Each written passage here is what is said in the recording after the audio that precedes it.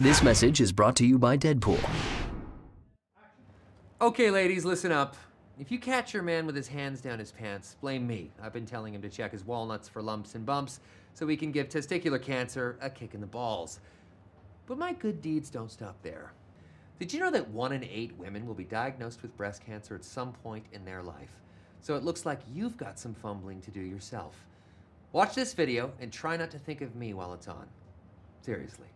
Self examination is an important part of detecting the early signs of breast cancer. And as well as having mammograms and regular checkups with your doctor, it's recommended that every woman checks herself at least once a month. Firstly, stand in front of a mirror to look and feel for noticeable changes, such as dimpling, size difference, or nipple discharge.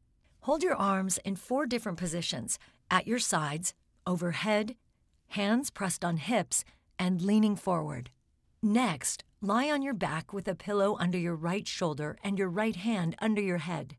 With your four fingers of your left hand, make small circular motions.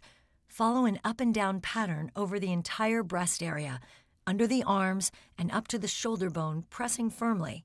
Repeat using right hand on left breast. Finally, while bathing, raise your right arm and check your right breast with a soapy left hand and fingers flat, using the method described when lying down.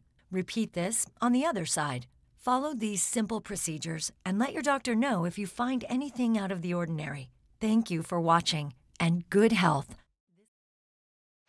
There you have it, a film that could save your life with boobs.